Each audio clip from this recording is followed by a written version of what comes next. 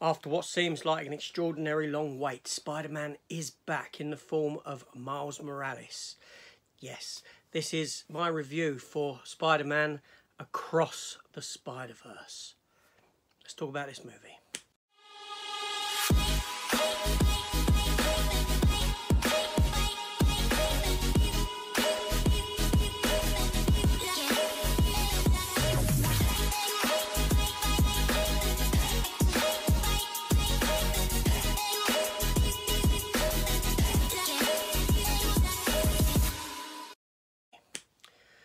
Welcome back to the channel everyone and welcome to this here review for the latest Spider-Man offering from Sony Across the Spider-Verse um, the sequel to Spider-Man Into the Spider-Verse. Miles Morales animated movie from Sony like I said. Um, yes finally we get the sequel here running at 2 hours and 20 minutes with a PG rating um, brought to us written by Phil Lord Christopher Miller and Dave Callaham and directed by Joaquin Dos Santos, Kemp Powers, and Justin K. Thompson. So, um, I'm going to try and not talk about spoilers at the beginning of this review. Then I'll get to a point where I will talk spoilers. So, that first Spider-Man film, Miles Morales one, um, I loved it. I love Miles Morales as a character. Brian Michael Bendis, who created and wrote the character of Miles Morales for the Ultimate Spider-Man comics after the death of Peter Parker, created a fabulously rich character. And I was so glad that he got even an animated movie. And that first film blew me away. So does this film offer up anything new or is it treading old ground? We, you know, like many a sequel does. Anyway, you'll be happy to know that no, this sequel is as fresh, as vibrant, as fun as the first one. It's as quick-witted, it's as fast-paced.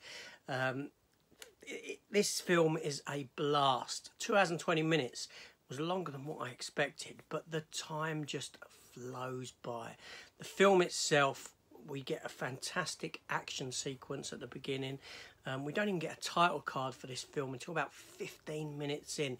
And then it's not until about the 45 minute mark that we're actually uh, given, uh, you know, getting into the story. It's all character build up before that and, and all reintroductions of different characters. And it's just fantastic. And you know, it, the film starts off more of a the perspective of Gwen Stacy than what it does Miles Morales. It does like all it gives you all her origin, this sort of a thing that happened with her. And if you remember that scene at the end of the first one where Gwen Stacy came back through the, the portal above uh, Miles's bed, um, this is in this film, but we come to find out it's actually some considerable amount of time has passed, and it's at that 45 minute mark that we get this scene, that scene, and, and Miles has grown somewhat, grown as a person, grown physically, um, and has become a better Spider-Man. Um, he comes to learn that there is this sort of secret society of Spider-Men from all different um, universes that have come together, but he hasn't been invited into it, and, and this kind of gets to him a bit. So, thusly, he follows Gwen through one of these portals to find out why, and the story progresses like that.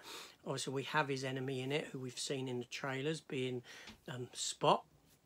And he is the big bad of the film, but not only that, another antagonist is in the form of Miguel O'Hara, Spider-Man 2099. I don't really want to say any more about the story than that. The film does have some surprise cameos in it. Um, yeah, and, and nice nods to comic book lore and all this sort of a thing. And like I said, it's as vibrant, fast-paced as that first one. It's as good as the first one. Yes, it hasn't lost anything. It truly is. And obviously the film does end um, to be continued. It is a two-parter, and that is no secret. But also some old friends return at the end. Also, the voice cast in this film, obviously Miles Morales is again voiced by Shameik Moore. Um, Gwen Stacy, Hailee Steinfeld, Miguel O'Hara, Spider-Man 2099, Oscar Isaac, as he was at the end of the last film. Jake Johnson returns as Peter B. Parker, Andy Samberg return well doesn't return. He appears as Ben Reilly, aka the Scarlet Spider, and fantastic. And there's other characters in the mix and all this sort of a thing. And it truly is rich storytelling. That's what I love about this film. And like the first one, this is written by and directed in such a way that it comes across better than so many live action movies. It's so vibrant. It's so you could see it as a live action movie. Just the the, the camera angles used in the animation and all this. And that's the other thing. The animation it's all different. Um, each world they visit is a different animation style, and that character, like in the first one, retains their animation style in the world that they visit and the worlds that they visit. That animation style is the main thing with them as the visitor in a different animation style, and it looks superb. It looks photographic. It looks, I don't, it just looks fantastic. This film was spot on. Now, I do want to get into discussing some of the nitty gritty spoilers about this film. So, what I suggest you do now is just cut off now. That's why there's a warning up. Step away, go away, watch the film, come back, and then give me your thoughts on it. So, let's delve into it a little bit deeper. Okay, so now we got that out of the way. If you're still hanging around, you've either seen the film, you know what it's about, you know what happens, you don't care, or you don't care about spoilers. Whatever it may be. But yeah, so this film here, first of all, the cameos in it. Um, let's talk a bit about the cameos. So obviously we have the woman from the shop in Venom. Um, we have the Spot go through one of his holes and he appears in that universe. What we come to find out about Spot is that um, he was there at the destruction of the quantum acceleratory type thing in the other film. And this has caused him to become the person that he is. And he, he, he embraces this power and when he gets a bit more of it, it, it, enables him to be a link between all these different dimensions. His spots just don't open up like a wormhole for him to go through in his own world. He can utilize these spots to get through into other universes. Um, and in this, he pokes his head out into the universe of Venom. Yes, with the woman in the shop. Um, no venom in sight or anything like that, but it's a great scene. It really is, right? And then obviously we get Brian, um, Donald Glover, sorry, Brian Glover. Um, Donald Glover, Brian Glover.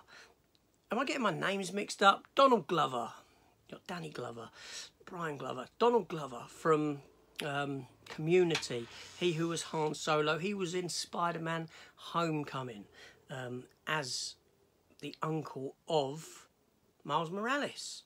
Um, yeah, he's in it. He's in a, in in in in in a in a cell essentially. Um, so it makes that kind of real life. Then we also get Andrew Garfield in a cameo, but it's not filmed for this. It's actually a scene from The Amazing Spider-Man um, 2 with the death of Gwen Stacy's um, father, the police captain.